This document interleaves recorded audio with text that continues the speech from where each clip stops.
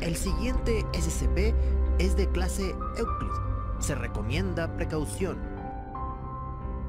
El conocimiento es de valor incalculable. Tanto así que existen dioses y demonios dedicados exclusivamente a recolectarlo. Es raro encontrar alguno que esté dispuesto a compartirlo. SCP-1726 La Biblioteca y el Pilar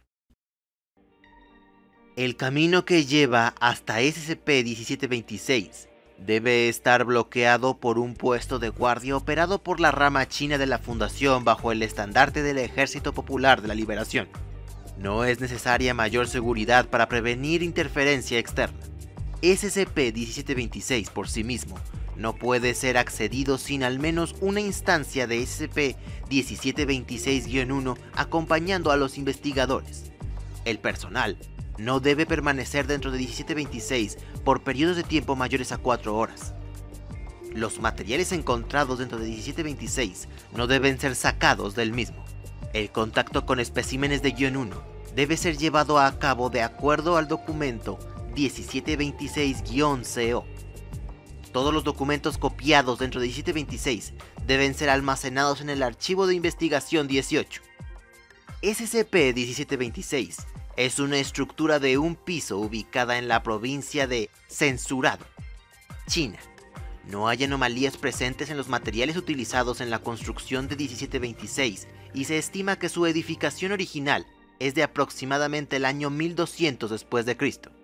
El interior de 1726 es una anomalía espacial estable que mide aproximadamente 14 kilómetros cuadrados de área. Este espacio consiste en una biblioteca, rodeando un pequeño jardín y una fuente. Los contenidos de esta biblioteca consisten principalmente de textos filosóficos, teológicos e históricos, acompañados de artefactos provenientes de civilizaciones en Asia Central y Oriental, muchos de los cuales se originaron desde culturas desconocidas para la antropología en general. Los artefactos más antiguos contenidos dentro de 1726 son una colección de tablas Yeren que datan de aproximadamente el año 30.000 a.C. Otras civilizaciones notables destacadas son las dinastías Shambalas, la gente de los ríos lemurianos, la dinastía de Mu y el imperio daevítico. Un pilar de piedra se ubica en el jardín central de SCP-1726, ascendiendo a través de un agujero en el techo hacia una altura desconocida y escalable por medio de una pasarela de madera en espiral alrededor del borde de la estructura. Este pilar existe dentro de la anomalía espacial de 1726, por lo que no es posible verlo desde el exterior. Se desconoce su altura exacta. El punto más alto alcanzado por los agentes de la Fundación es de 12,8 kilómetros. SCP-1726-1 es un grupo de 54 construcciones humanoides conocidos, compuestos de porcelana. Son huecos, capaces de articulación completa, y generalmente parecen ser representaciones estilizadas de arquetipos culturales de eruditos. Los especímenes de guion 1 son sapientes y hablan fluidamente varios dialectos de lenguajes chinos antiguos y modernos, así como otros dialectos obscuros o extintos. Guión 103, guion 120 y guion 144 hablan español fluido.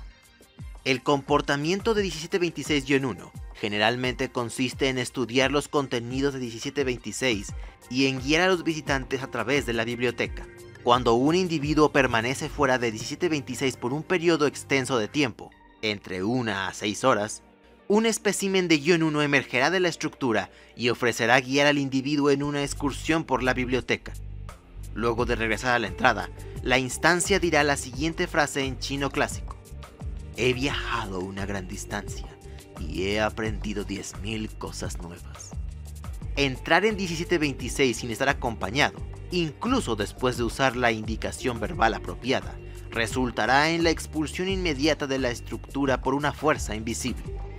Pasar mucho tiempo dentro de 1726, más de 4 horas, resultará en desorientación, pérdida de memoria y náuseas debido a los efectos de compresión espacial.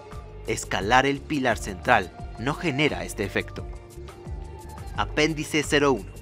Extractos notables de textos incluyen. Y mientras miraba atrás, vi que mi hogar se perdió en la agitación de la bestia. El bote fue sacudido por el oleaje, mientras miraba las últimas llamaradas sobre las colinas de Mu morir. La desesperación desgarró mi corazón, pues tanto se había perdido en nuestra insensatez. Tomado desde los registros de la destrucción de Mu, con fecha de 25.000 años antes de Cristo. Una colección de cuentos cortos de Kai Sun Lo, un sobreviviente de la destrucción del continente. Los Daevas regresaron triunfantes. Ableshal, al frente de la columna de soldados y grandes bestias de guerra que estrechaban el horizonte, llevando consigo trofeos de bronce desde tierras lejanas y gente encadenada para trabajar en los pozos de esclavos. Allí lo vi y supe Tomado del fragmento CD, el libro del viajero, con fecha 11.000 años antes de Cristo.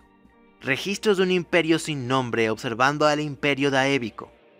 El evento descrito es la marcha triunfal del Daeva Hurrie en el año 11.039 a.C como es descrito también en otros registros del periodo bajo daébico.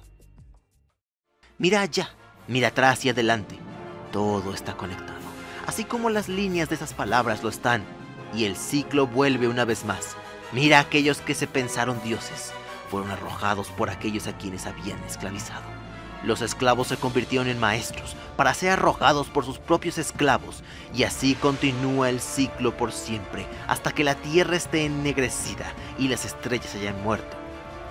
Pero los grandes seres han pasado y Mu ya ha pasado y las tierras del sur y el oeste han pasado e incluso el imperio ha pasado. Una cita de un trabajo desconocido encontrado en el pergamino 8 del Yahalel con fecha de 9000 años antes de Cristo. Un compendio de filosofía escrita en las secuelas del colapso del imperio daébico. Ilegible. Estuvo aquí. Grafite tallado en la fuente del jardín central. Fecha desconocida. Se presume que tiene 150 años de antigüedad. Escrito en inglés. Artefactos notables encontrados dentro de SCP-1726 incluyen un motor eterno no funcional que data del periodo alto daébico, con fecha de 15.000 años antes de Cristo, con esquemas para repararlo. Cuatro collares para esclavos funcionales del periodo bajo daébico, con fecha de 10.000 años antes de Cristo. Los restos de dos criaturas hexápedas muertas, similares a pequeños cetáceos, origen desconocido. Seis fragmentos severamente dañados e inactivos de mecanismos de relojería de bronce, los fragmentos llevan mantras tallados desde el periodo bajo daébico. Una muestra de tejido de un organismo desconocido. El tejido contiene un gran contenido mineral y posee estratos visibles en él. La muestra está etiquetada como desde la bestia que destruyó Mu. Una linterna de hierro forjado, fecha desconocida. La llama dentro no puede ser apagada y la agregación de combustible no genera ningún cambio en ella. 102 mapas de civilizaciones catalogadas dentro de SCP-1726. Apéndice 02. El día redactado, del mes redactado, del 2000 redactado. Una entidad desconocida fue observada por investigadores, descrita como un humanoide desproporcionadamente bajo, con extremidades similares a las de los arácnidos. La entidad fue vista reordenando libros, y al ser visto, huyó de los investigadores y ascendió por el pilar central. La investigación general dentro de SCP-1726 se ha detenido por el momento. Y ahora, unas palabras del Dr. Quack.